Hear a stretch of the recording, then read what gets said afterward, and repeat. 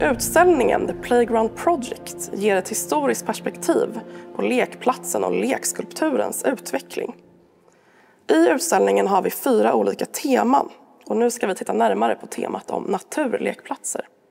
Konceptet naturlekplats innefattar ett brett spektrum av olika projekt. Allt ifrån lekmiljöer med naturliga växtligheter som buskar, träd och dammar till mer konstruerade miljöer med sand och anlagda vattendrag. Syftet är att genom rumsliga utemiljöer locka till nya upptäckter och lära barn om naturen. Först med idén av en lekplats gjord av enbart naturliga element var den japansk-amerikanske designern och skulptören Isamu Noguchi. Redan 1933 skissade han på en lekplats helt utan lekredskap som skulle bestå av jordformer i olika storlekar. Noguchis naturlekplatsprojekt kom aldrig att realiseras men han kom att inspirera många framtida lekplatsdesigners.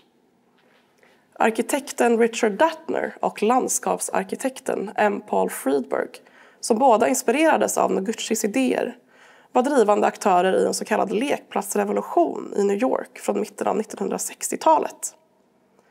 Genom att studera lekande barn i staden och utgå från forskning om barns lek ville de skapa mer kreativa, interaktiva och demokratiska lekmiljöer med många naturliga inslag och material.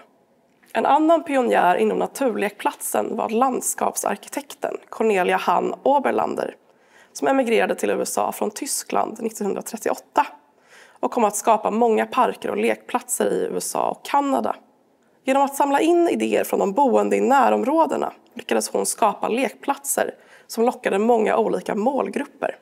Hon var även tidig med att anlägga plats för stadsodling och använde gärna naturliga material för att skapa lekskulpturer av till exempel stenar och fallna träd.